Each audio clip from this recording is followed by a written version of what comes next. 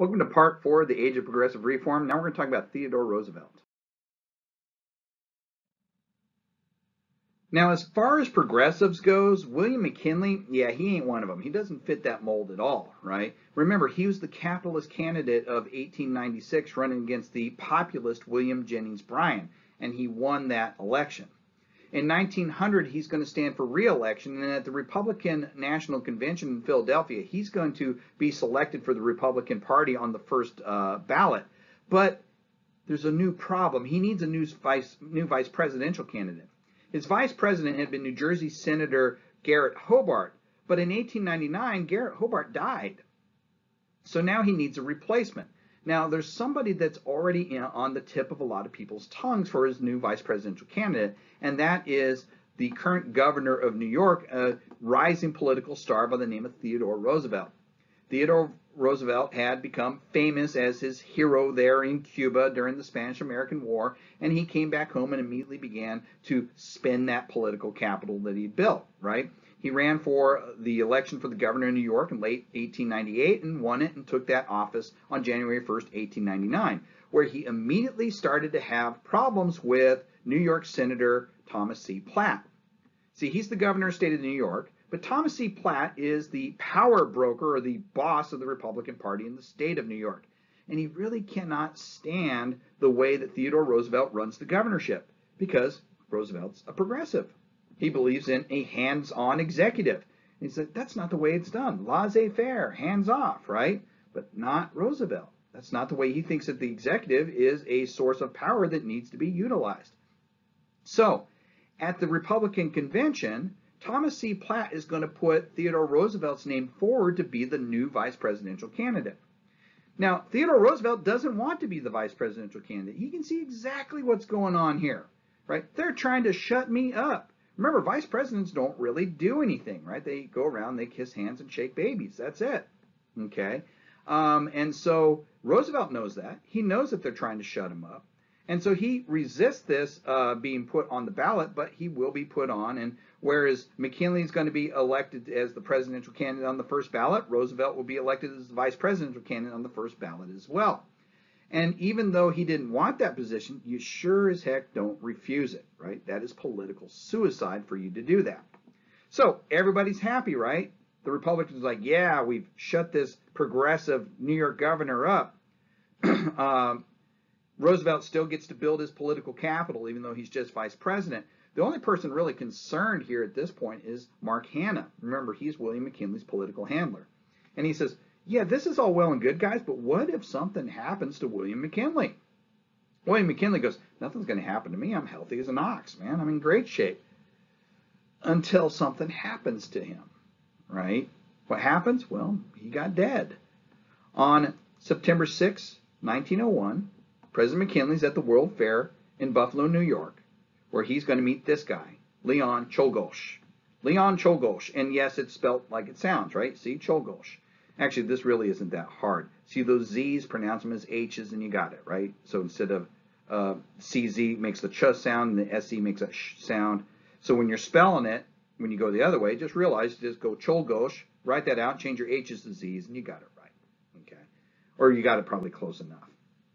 Okay, so Leon Czolgosz, who is he? He's an anarchist, right? He's a Polish immigrant, an anarchist, and he really can't stand William McKinley, the capitalist president, right? So at this New York uh, fair in Buffalo, he decides that he is going to kill the president. And at this fair, you got this big tent set up with a sign saying, come meet and shake hands with the president of the United States, right? And there's a whole line of people lined up to do this, including Czolgosz, right? Um, inside the tent, there's 50 Army personnel and there's Secret Service agents, but they're not near the president because the president thinks it looks bad for him to seem like he has a bodyguard surrounding him, right? So we're not quite protecting presidents yet, but we're getting close, right? This this assassination is going to finally uh, make the Secret Service more of a primary role, take more of a primary role in protecting the president. So Czolgosz walks up to shake the president's hand, or well, he walks up with a uh, handkerchief wrapped around his hand that's concealing a handgun. He reaches out and he shoots McKinley in the stomach twice. Now, Medical care had advanced since the assassination of Garfield, so we're not going to see the horrific things like what happened to poor James Garfield. But unfortunately, this is a stomach wound, and they are very dangerous, even still with modern medicine. And he is going to develop gangrene on the uh, on the uh, outer lining of his stomach, right? And so at first, after he's been shot, it appears that he's improving until around September 13th, he begins to just take a downward spiral. And on September 14th, 1901, he's going to die from infection. This one, like I said, you can't really blame the doctors on this one, right? Uh, and Theodore Roosevelt, who actually was on a hunting trip in uh, New York, they'll have to send a messenger running into the mountains where he was hunting to tell him, you need to come back, you need to take the oath of office, right? So Theodore Roosevelt is going to become president of the United States. So as you can see, Theodore Roosevelt is thrilled with the fact that he's president now. And I'm just kidding. It's not like they didn't take this picture like when they gave him the news about McKinley. Okay, but Roosevelt now is a progressive president. All the things those uh, laissez-faire Republicans were fearing has now come to pass, right?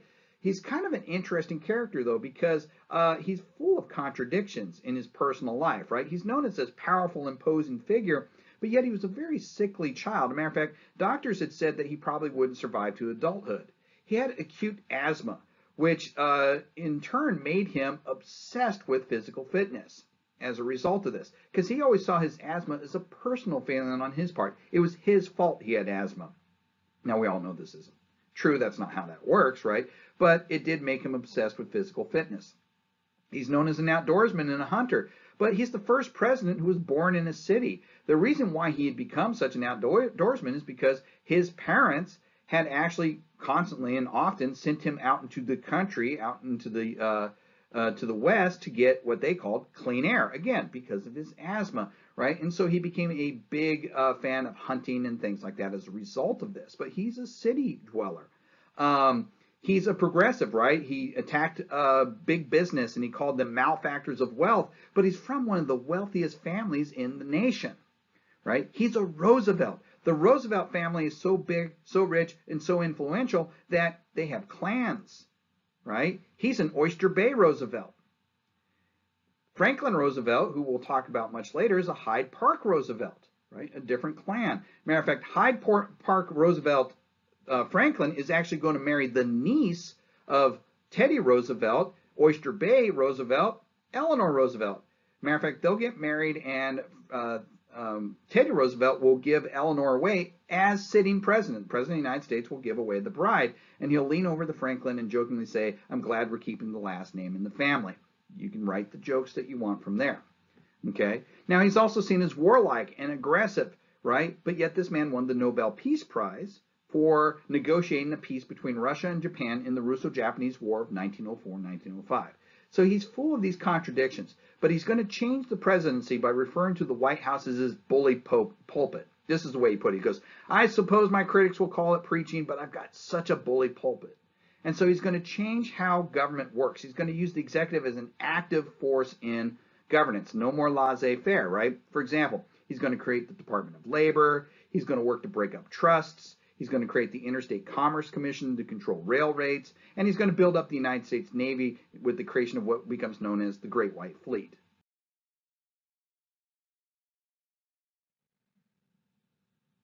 Now, Roosevelt, as an active progressive president, is going to get involved in mediating the labor issues in the United States. This is something different. Typically, what we've seen thus far is that whenever the government gets involved, state or federal, with a labor dispute, they would get involved on the side of the industrialists. Roosevelt doesn't see this way, and the presidency is going to take an active involvement when it comes to dealing with la the labor problem. In 1902, for example, the United Mine Workers is going to call for a nationwide strike in the coal mines, right?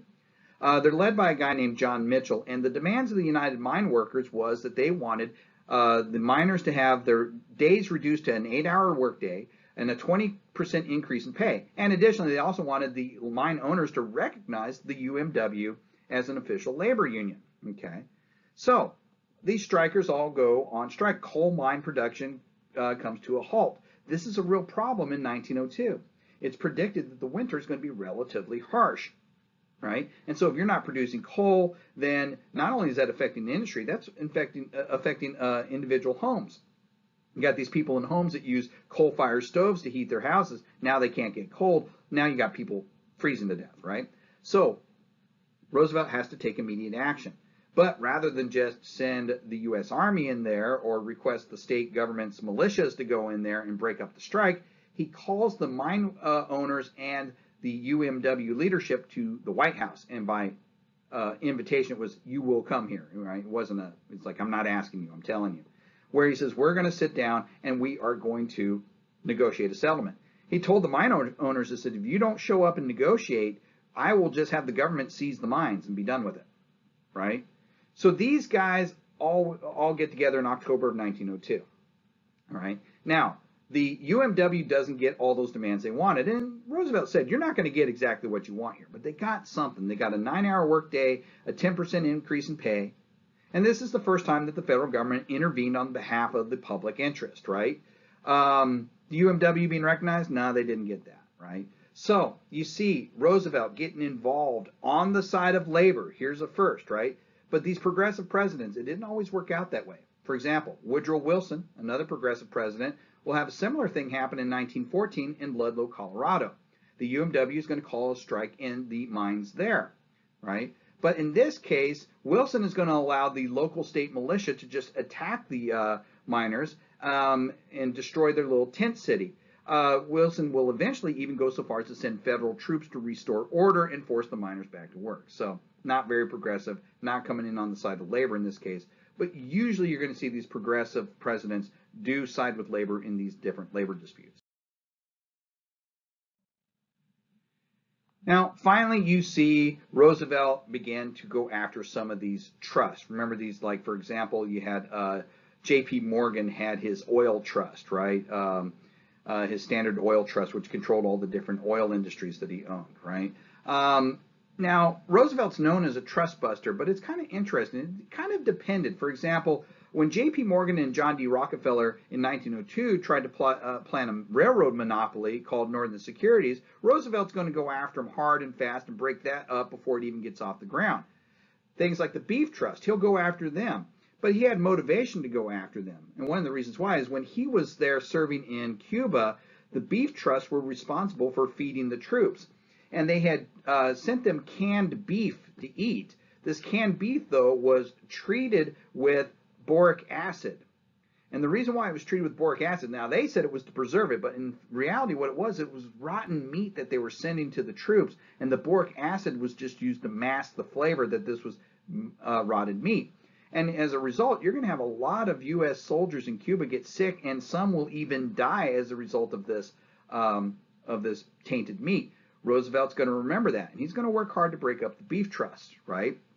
Um, other ones, though, he will leave alone. If the trustee doesn't seem as a threat to the common good, he will call, label it a good trust, and he won't go after him. So he's kind of picking and choosing when it comes to which trust to go after, after and which ones not to. Now, of course, Standard Oil and John D. Rockefeller is going to be one that's going to be very high on his uh, on his list, even though he's not going to be able to take them down. Another muckraker, an investigative journalist named Ida Tarbell, is going to uh, do another expose, much like Henry Demarest Lloyd had done, uh, but she's going to do one in 1902 looking at Standard Oil and Rockefeller and referring to him as money mad. Matter of fact, she'll say our nation, national life is on every side distinctly poorer, uglier, and meaner for the kind of influence he exercises. No price is too great to pay for winning. In commerce, the interest of business justifies breaking the law, bribing legislatures, and defrauding the competitors of their rights, right? So this is going to actually spark an investigation in 1905 after Roosevelt is won re-election campaign on what he called the square deal. In the square deal, he said, "I'm going to give the American public a square deal." In other words, it was his, it was a declaration of war against trust. Again, bad trust. Okay.